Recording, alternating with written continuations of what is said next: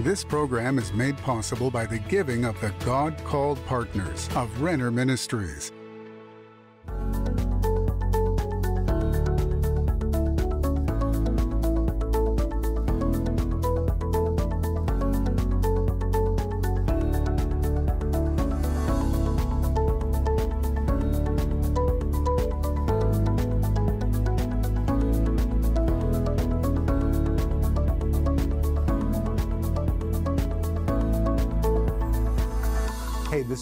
Renner, and today I'm standing in front of a giant oven in the Gzhel factory outside of Moscow. And this week I've been looking at the whole process of how they make this beautiful blue and white Russian porcelain. That porcelain has been in this oven for 48 hours, where the temperatures have been as high as 1,300 degrees, and now we're going to see the door opened to see what's been cooked in the fire. Eric Devay. Let's open the oven door. Look at the size of this door. Of course, the temperatures are very, very hot. And once the door is opened, we get a peek at treasures. Russian blue and white porcelain. Look at this. It is so heavy. They have to transport it back and forth into the oven and out of the oven on railroad tracks. And when you look at what is inside, it is amazing. And I can feel still the heat coming out of this oven. But look at it. It's so spectacular. And to think it began as clay in the earth, which was liquefied, poured into molds, cleaned, blemishes cut off, excess removed, dipped to see if there were any faults, any fractures or cracks, then marvelously painted, then hidden by glaze, and finally brought here to the oven. And the hottest temperature of all was required to bring out the richness of the blue and the shininess of each piece. That is just remarkable. And my friends, I want to tell you that if you've been through fire, and there's all kinds of fires in life, sometimes there are fires which are sent from the enemy, sometimes there are fires that we set ourselves, and sometimes God puts us through fires to make us strong. They're never bad fires. It's just what we need to be, what we need to be. God gives us what we need to be to cook us and to make us the best piece we can be for His service in the kingdom of God. And that's what I think about when I look at this beautiful Gzhel. And that is what I'm going to be talking to you about today. Stay tuned for a teaching you can trust, a message that will inspire, strengthen, and equip you with vital insights and understanding from the Word of God. Here is Rick. Welcome to today's program. This is Rick Renner, and I've been waiting for you. And today, I'm going to continue talking to you about the fire of God in your life.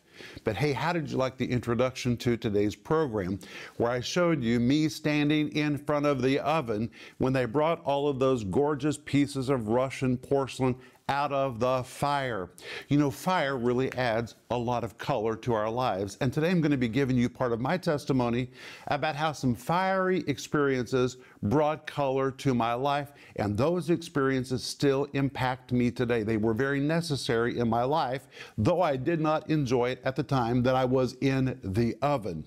But hey, I'm offering you my brand new series, which is called The Fire of God in Your Life.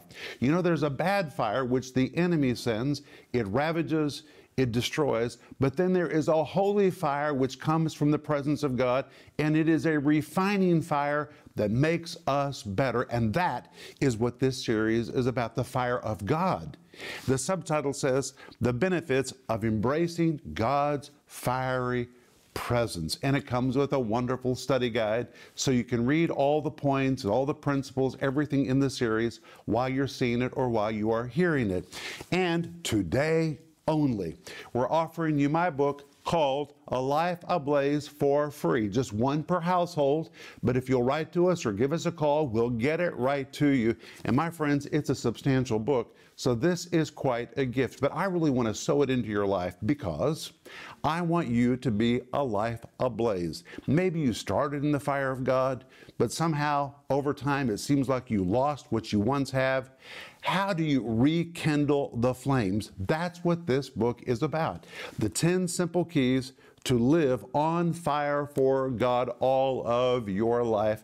God wants you to be a life ablaze. And today only, it's our gift to you if you'll call us or if you'll write us right now. And I want to remind you that when you reach out to us, we want to know how to pray for you. Jesus said, if two or three of you would gather together and agree about anything, I will do what you ask. Well, here we are. We're waiting for you to reach out to us. We'll agree with you in prayer. Jesus will do his part. He will do what we ask. He's waiting to perform a miracle for you right now. So let us know how to pray for you by calling us or by sending us an email. But today we're going to return to our theme verse for this series, which is called The Fire of God in Your Life. But the theme verse is 1 Thessalonians chapter 2, verse 4, where the Apostle Paul describes his experience with the fiery presence of God that cooked him and prepared him for ministry. And he writes in 1 Thessalonians 2, verse 4 But as we were allowed of God to be put in trust with the gospel, even so we speak, not as pleasing men, but God which trieth our hearts. And we've seen every day this week that this verse is just jam packed filled with revelation. And the King James translators didn't do such a good job on this verse. So let's look at these words a little more deeply. Let's begin the very first, verse 4, where he says, As we were allowed of God. We've seen that that word allowed is the Greek word dokimazo, which means to test, examine, inspect, or to scrutinize. So you could translate it we were tested of God, examined of God, inspected of God, even scrutinized of God.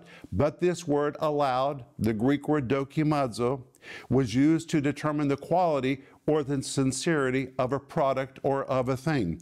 And because the object scrutinized finally passed the test, it could be viewed as genuine and sincere and ready to be used. And this word allowed, the Greek word dokimazo, was used to illustrate the test used to determine real and counterfeit coinage. And after a scrutinizing test of fire was used, the fire would reveal which coinage was real and which was counterfeit. But most importantly, this word allowed, the Greek word dokimazo, was used to picture the refining of metal by fire to remove its impurities. Now, I know that none of us like fiery experiences, but aren't you glad that they put metal through fire? Because the fire exposes all the defects. If they use the metal without that purifying process, it would have hidden defects that would later hurt all of us. The fire is necessary to remove impurities.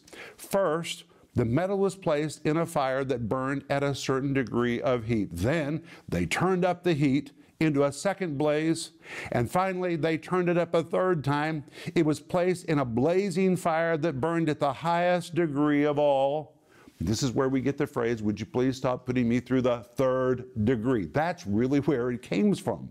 But all three such tests were needed in order to remove from the metal all the unseen impurities that were hidden from the naked eye. From the viewpoint of the naked eye, the metal probably looked strong and ready to be used even prior to those tests. But unseen defects were resident in the metal that would have shown up later as a break a fracture, or some kind of malfunction. I'm thinking about people who are mightily gifted but they began their career or they began their ministry before those defects had been dealt with in their life. And because those defects had never been submitted to the fiery presence of God, later in life, when they became more well known, suddenly those defects showed up, and it didn't just hurt them, it hurt a lot of people that were following them. This fire of God that I'm describing saves us, and it also protects others. But before a person could be assured that the metal was free of defects and thus ready to be used, these three purifying tests at different degrees of blazing hot fire were required. The fire was hot, the process was lengthy, but the tests were necessary in order to achieve a good product. And I know that you want to be a good product that God is ready to use.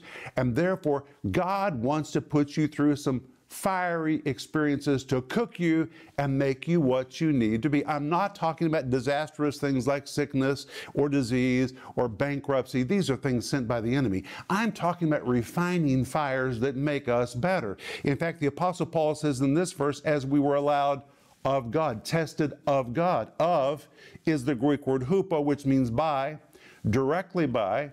This word hupo can also be translated under as under the guidance of. And here Paul says it was God Himself who was orchestrating these events in my life before I could be put in trust with the gospel. God dealt with those flaws before Paul was launched into his public ministry. And then he adds, Even so we speak not as pleasing men, but God, which trieth our hearts. And guess what? The word trieth is again the continuous form of the Greek word dokimazo, which means the test never ends. You may think you've come through one test, but before you go to the next level, God will make sure you're prepared for that level as well. And that's why the verse really means.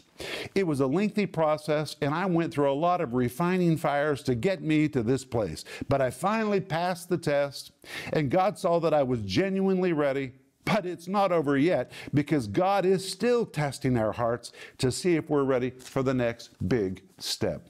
And I've given you the example of the Apostle Paul, who, when he was saved, was instantly anointed to be an apostle, but he wasn't ready to be launched into his ministry.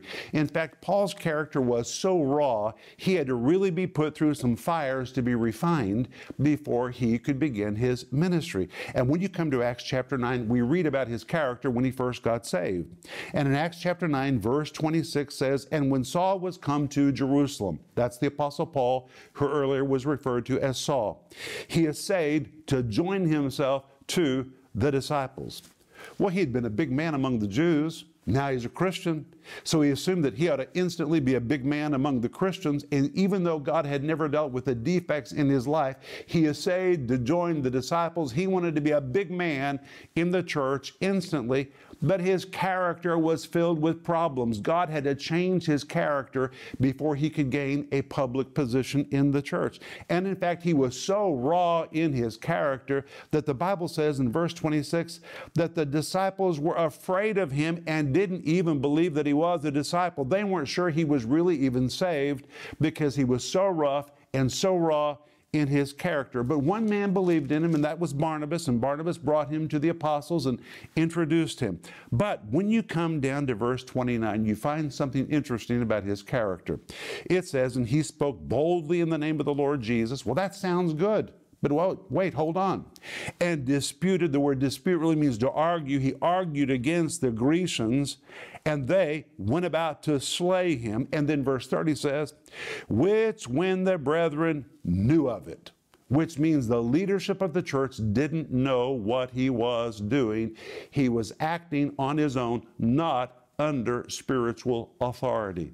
He didn't even understand spiritual authority because he was a new believer. And when the believer, when the leadership in Jerusalem heard about it, they brought him down to Caesarea, put him on a boat, and sent him home to Tarsus. And the next verse immediately says, Then had the churches rest throughout all Judea and Galilee and Samaria when they got him out of town, finally, they could breathe a sigh of relief. We're talking about the great legendary Apostle Paul. But when he first came to Christ, he was rough in his character, his mind was unrenewed. And he created such a ruckus in the church, the leadership put him on a boat and sent him home, and only then could they breathe a sigh of relief. And where did he go? He went eventually to the city of Antioch, which I know was a fiery experience for him. And we read about this in Acts chapter 13, verse 1, and this is so very important. It's an example of how you can read a text and not really understand it unless you pause to think about it. Well, when you come to Acts chapter 13, verse 1, it says, Now there were in the church that was at Antioch certain prophets and teachers. Barnabas, and Simeon that was called Niger, and Lucius of Cyrene, and Manaen, which had been brought up with Herod, the Tetrarch. And I write about all of these men in my book called The Will of God, The Key to Your Success, which has to do with you being prepared for what God wants you to do. But most of these men were not theologically trained. For example, Barnabas, even though he was a Jew, he had not been theologically trained. The Bible talks about Simeon that was called Niger. The word Niger means black. This was a black man from North Africa, and most scholars believe it probably was a slave. Then Lucius of Cyrene Cyrene. Cyrene was from northern Africa. This is a man that had moved to Antioch from Africa. He may have also been a black man and may have also been a slave. And then we read about Manaen, which had been brought up with Herod the Tetrarch. This was actually a relative of Herod. Manaen was a pagan, he was a Roman, and as a Roman, he had been taught not to like the Jews, to despise them. And finally, we have Saul in the list. Saul is the only one theologically trained and now he finds himself as a co equal leader among others who have no theological training. And wait, not only that, being raised as a Jew, he was told to have no contact with pagans whatsoever, with Gentiles, and he finds himself on a team filled with Gentiles. Ah, Simeon is a Gentile. Lucius is a Gentile. Manaen is a Gentile. Barnabas is a Jew, but he's not theologically trained. And Paul is the only one that has insight to the Old Testament scriptures. And now he finds himself as a co equal leader among others, learning to submit to them, to respect to them. Now, you may wonder how long he sat on the same bench with these other men in the city of Antioch, and the answer is about eight years. Wow. If you just read Acts 13 1 without digging a little deeper, it seems that these events occurred very quickly, but they did not. Paul sat in that church for eight years. And during those eight years, he had to learn to respect Gentiles who were now saved. During those eight years, he had to learn to respect people who didn't have his same educational status. He had to submit to them, listen to them, work with them, be a co laborer with them, and surely it must have been a fire to his soul. And I'm sure there were moments when he said, Will I ever get out of here? When will the day come when I finally be launched into my own ministry? He probably had his eye on the clock. Do you have your eye on the clock? Do you know that God is not a clock watcher? He has lots of time. God is not a clock watcher, He is a character watcher. And God was looking at Saul's character. A fire was there. He was placed into the oven to cook him, to remove excess, and to make him strong and make him ready for ministry. And when God finally saw that his character had been refined and that he was strong enough, the Bible tells us in verse 3 As they ministered to the Lord and fasted, the Holy Ghost said, Separate me, Barnabas and Saul, for the work whereunto I have called them. I'm sure Paul said, Hip, hip, hooray, the moment has finally come. But maybe it would have come earlier if he had embraced the holy fire that had come to refine him. How long we stay in the fire depends on our response to it. And yesterday I told you about an early experience in my life of fire, and it was a fire that I really needed. I was a young man. I was learning to read the Greek New Testament and was really impressed with what I was learning.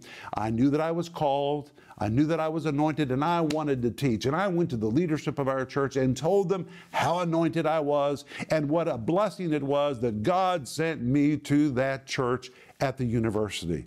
They looked at me and said, Rick, we know that God really has anointed you and we believe you are to begin your ministry. And as I told you yesterday, they gave me the ministry of setting up the chairs and vacuuming the carpet. And eventually they promoted me into washing the dishes at the church. And I thought it was so below me. But I didn't realize it at the time. But God had put me in the oven. And God was dealing with issues in me that needed to be removed. Finally, I said, Lord, I'm going to embrace this. I'm going to vacuum the carpet better than anybody has ever vacuumed it. I'm going to set up those chairs in the most professional way. I'm going to make those dishes gleam by the time that I'm done with them. I prayed over those chairs. I prayed over those dishes. I prayed over that carpet. I embraced the moment. And guess what? It was a moment that I needed in my life because that fiery experience revealed things in my character that were not right pride, arrogance, impatience. That fire revealed all those things, and by keeping me in that temperature for a period of time, the Lord began to remove that excess from my life. But hey, that was not the last time I was going to be put through fire. And in fact, when you understand Paul's words in 1 Thessalonians chapter 2 verse 4, he says, "It was a lengthy process and I went through a lot of refining fires to get me to this place, but I finally passed the test, and God saw I was genuinely ready. Now, listen to this part. And it's not over yet because God is still testing our hearts to see if we're ready for the next big step. And in the next program, I'm going to tell you about the Lord moving me from one oven to another oven because He needed to really prepare me for my future. And the greater your assignment, the greater the period of preparation. And rather than resist that period of preparation, embrace the holy, fiery presence of God and say, Lord, you are a consuming fire. So as I draw near to you, I'm asking that your fire would burn all the dross and all the slag out of my life and get me ready to be a vessel that can be used.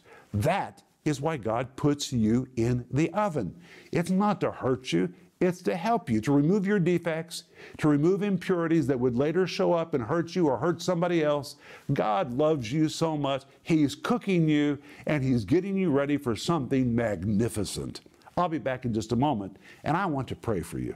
Many people fear fiery experiences, but there is a good fire that we all need to keep burning in our lives. Fire sent from the enemy is destructive, but God sent fire is needed to make us stronger, pure, and ready for what God wants to do in and through our lives. Remember, the Bible says God is a consuming fire, and we need His fire to remain spiritually ablaze and burn red hot as we do our part to fulfill His great plan.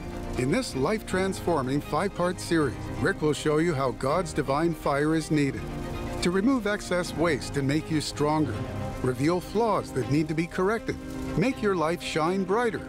Bring color to your life. This series is available in digital or physical formats starting at just $10. And today only. Get the book A Life Ablaze as our free gift to you. Just call the number on your screen or visit Renner.org to request it. In this powerful book, Rick lays out everything you need to live an intimate and uncompromising life and to stay on fire with the Holy Spirit's power for years to come. You can do it, but you need to know how. And that's what you'll discover in this timely book. Learn the right fuels you need to throw into your spiritual fire to get you burning again. Get the book A Life Ablaze for free today. And don't miss this powerful series, The Fire of God in Your Life. Call the number on your screen or go to Renner.org to order. Call or go online now.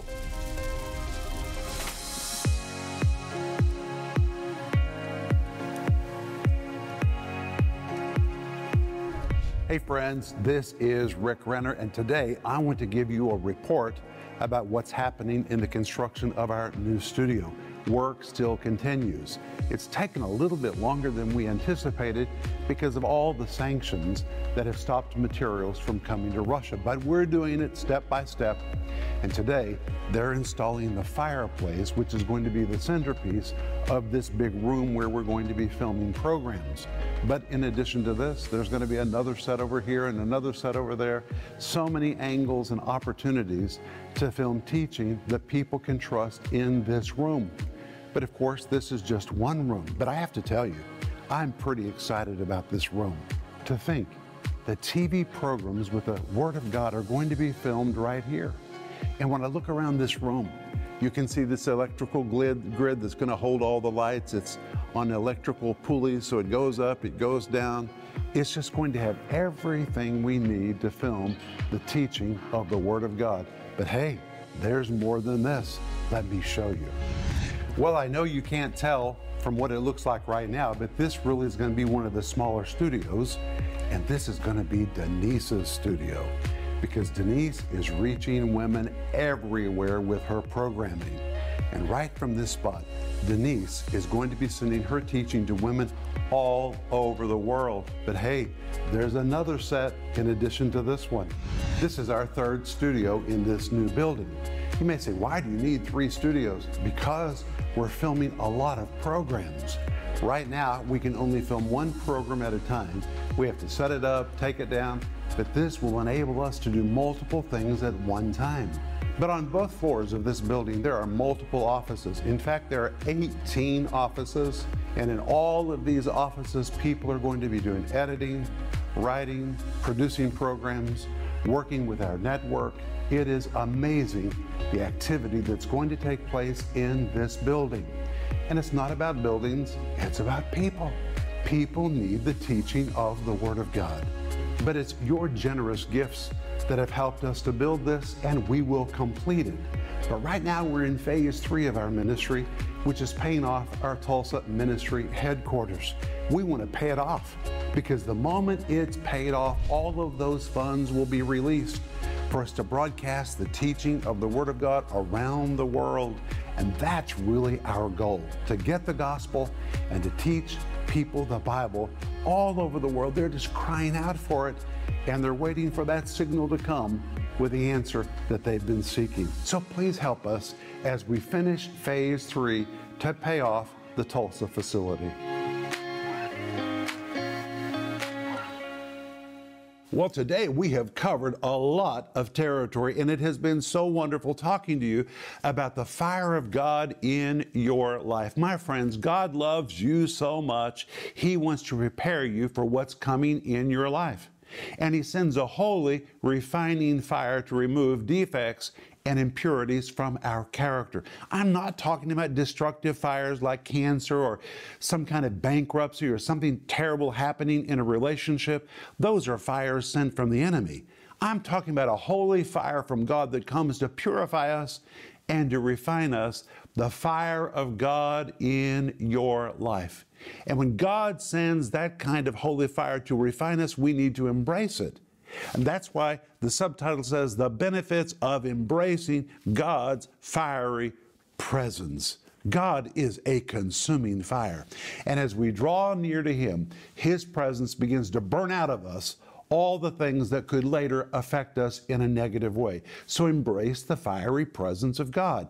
And that series comes with a wonderful study guide, and I want you to have it. So you can go online to order the series and the study guide by giving us a call right now, or you can send us an email. And we're offering you today only for free my book, which is called A Life Ablaze 10 Simple Keys to Living on Fire for God. But I want to pray for you right now. Father, thank you for your holy fire, which comes to purify us, to refine us, and to make us better. Help us not to resist it, but to embrace it. And Lord, we pray that you burn all the dross out of our life. In Jesus' name, amen.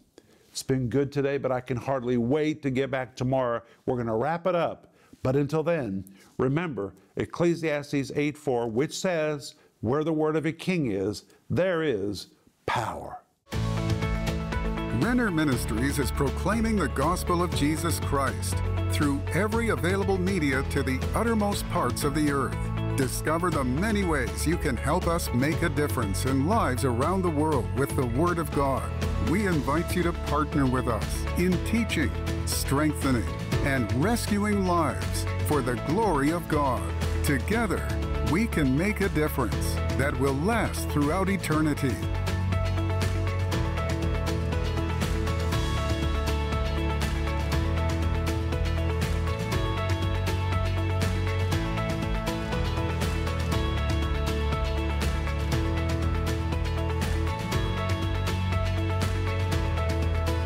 Program was made possible by the giving of the God called partners of Renner Ministries.